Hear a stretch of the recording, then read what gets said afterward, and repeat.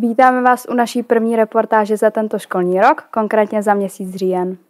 Jako každý rok, i v tomto roce se konalo jabkobraní. Nacházelo se zde hodně stánků, například s jídlem a taky vyrábění pro děti i dospělé.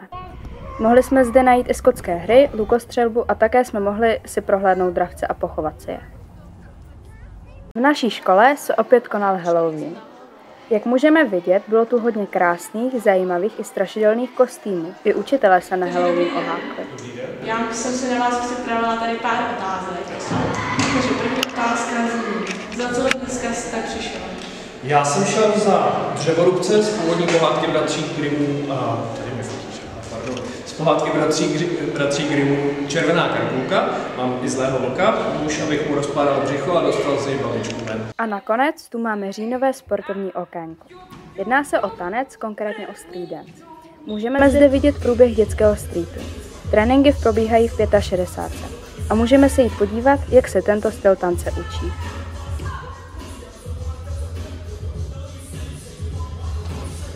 Děkujeme, že jste naší první reportáž dokoukali a těšíme se příště. Nezapomeňte nás sledovat na našem Instagramu, Facebooku a YouTube.